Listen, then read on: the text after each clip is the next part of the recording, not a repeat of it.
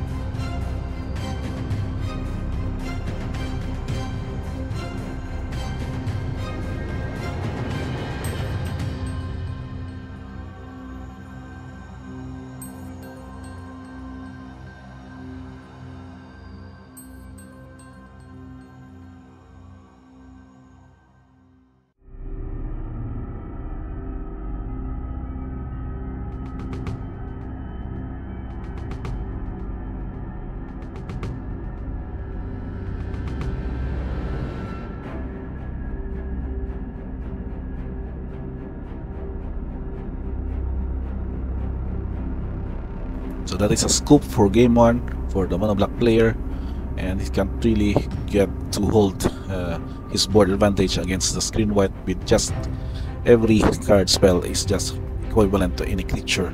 And so we're going to go with the sideboard. We'll see now how the deck would go far in the trying to discard maybe some of the enchantment spells before they even dissolve and also with the cheap spot removals against those cards such as Jukai Naturalist.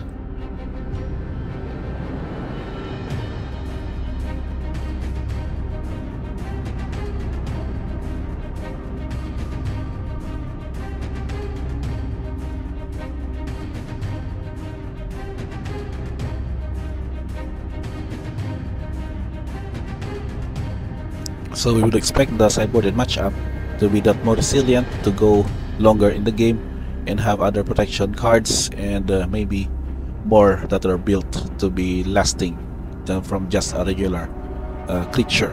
So cards like Invasion of Gobakhan can be uh, relevant here as to check on the mono black's uh, hand and uh, maybe delay some of its relevance card whereas a glass casket could also be useful in stopping off early aggro since uh, monoblock will be starting off the first turn and maybe going to go early board presence before the green enchantments can stabilize.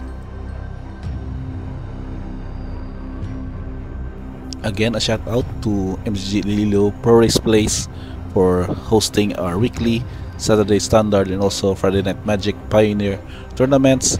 And if you want to do some pre-order or booster pack openings, you can just visit his place now. It can be available also during weekdays for casual gameplay and other stuff.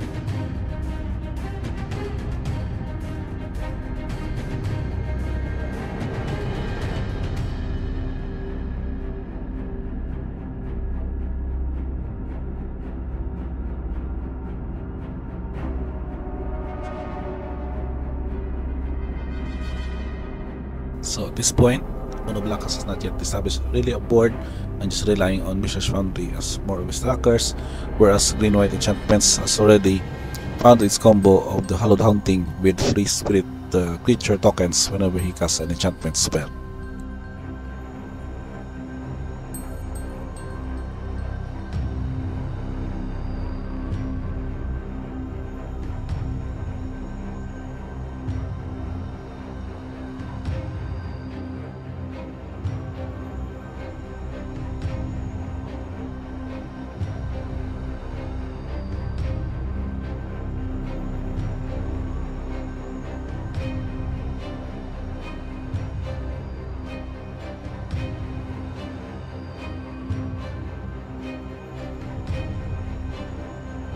So trying to recover board, Gaia visits the mirror for an answer to the board of purely enchantments and creatures.